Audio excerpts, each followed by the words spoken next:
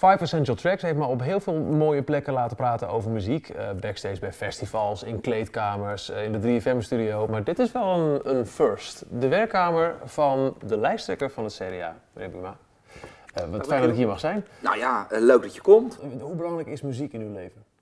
Muziek is voor mij, en dat toont ook meteen het soort muziek, ik, ik, voor mij is het rust. Dus ik ben niet van de heel harde muziek.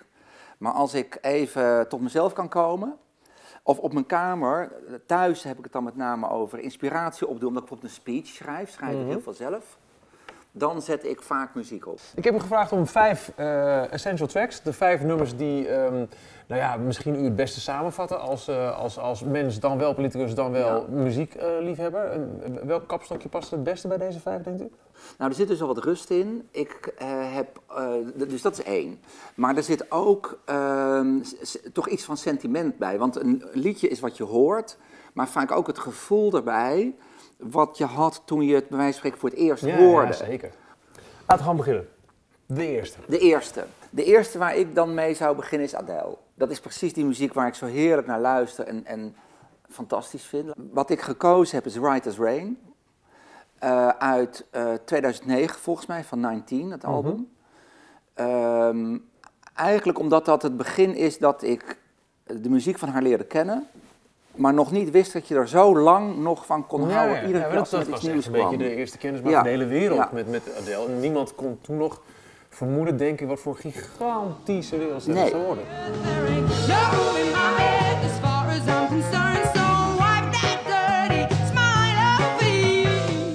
Hier hoort ook alweer een uh, gevoel bij, want ik meen me te herinneren, deze CD komt dus uit nou ja, 2009, ja, 8, of zo.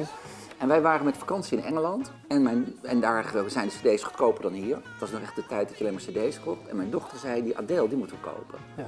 En toen hebben we Adele gekocht en vervolgens draai je dus de hele zomer niks anders dan deze cd. Want dat is de cd die je bij hebt. Ik kan zo het boerderijtje herinneren waar wij zaten eh, in Engeland. En dan komt deze muziek weer. Dus dat gevoel van uh, vakantie en weg zijn, even afstand nemen, zit er ook in. Right, En voor alle duidelijkheid, vakantie is niet verregend.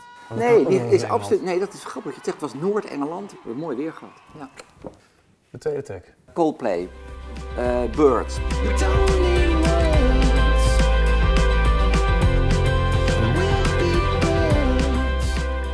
Eigenlijk is dus de achtergrond van Coldplay vergelijkbaar dat die ook bij mij hoort bij de vakantie, Frankrijk. Maar daar hadden we de CD al in Nederland gekocht. Maar hij hoort bij hetzelfde idee.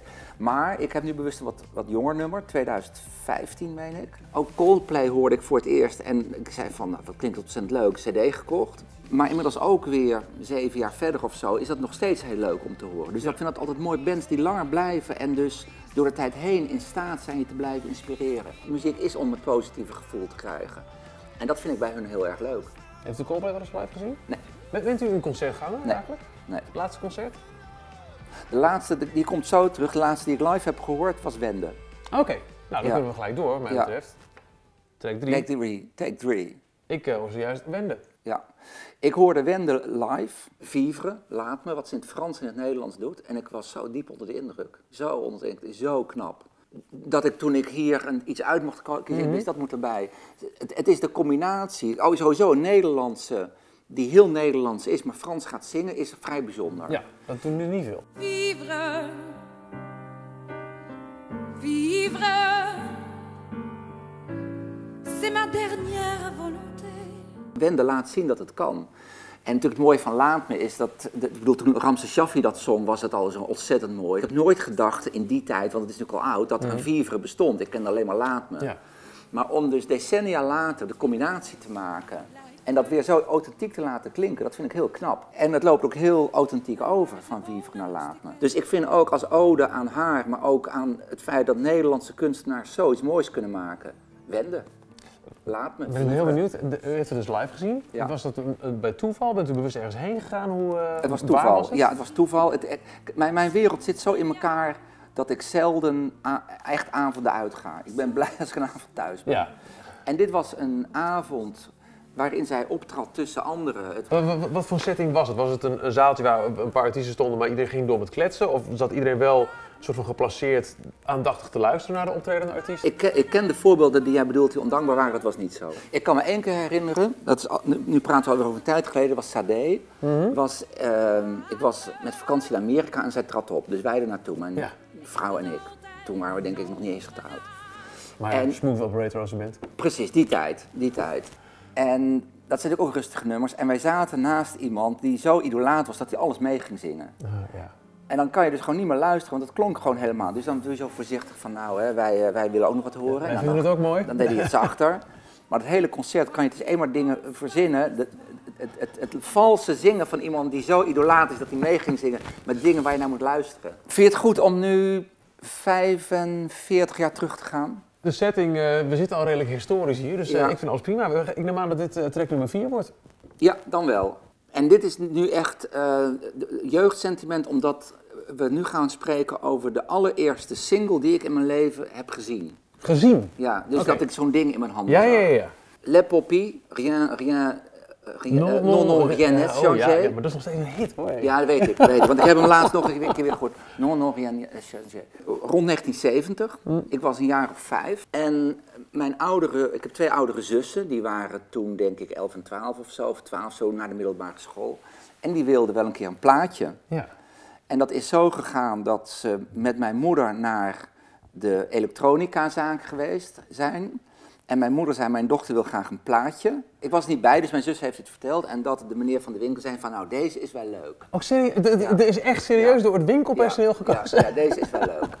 En zo kwam, kwamen Le. En dat is ook heel lang de enige geweest die we in huis hadden. Behalve, we hadden een, een reclame ding van het lelijke eendje van Annie M.G. Schmid. Ja. Die kinderen zijn, Ja, dat was ja. een reclamesingeltje. We hadden een reclamesingeltje van Biotex. Er waren toch heel, van die heel floppy dingen, waar, toch? Die ja, reclames. dat die flap, ja, echt ja, vreselijk. waar, je eh, hele, waar je spelen meteen aan kapot aan ging. Ja. Maar goed. Ja, dat was Dat slecht voor de naald, dat klopt, ja. Lange tijd het enige wat we hadden, maar daar maakte dat zo'n indruk. Omdat bij die reclame dingen ineens deze echte kwam. T'as continué, mais tout a continué. Non, non, rien n'a changé. Tout, tout a continué. Five Essential Tracks. En voor de vijfde, eh, nu met een microfoon. Deze moeten we echt heel goed even meekrijgen. Want dit is echt een klassieker die eh, voorbij gaat komen. Nu komt er een klassieker, ja, want ehm, de, de top 2000 komt ongeveer langs en dan de bovenste regionen. The Eagles Hotel California. Ehm, ergens uit de jaren 70, toen ik inmiddels op de middelbare school zat en muziek zelf kocht of zelf luisterde. Thought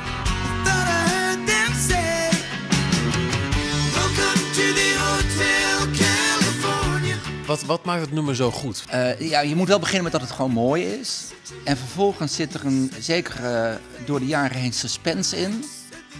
Omdat je, je boeken kan volschrijven over wat ze nou precies voor tekst hebben gemaakt. You can check out anytime you like, but you can never leave. Het is gewoon Hotel California. Maar ehm, tegelijkertijd het hotel waar je nooit uitkomt. Waarom is dat het hotel waar je niet uitkomt? Wat heeft het met Californië te maken? En er zijn niet zoveel songteksten, denk ik, waar decennia later nog zo over gediscussieerd wordt wat er eigenlijk bedoeld wordt. Dank u wel. Graag gedaan.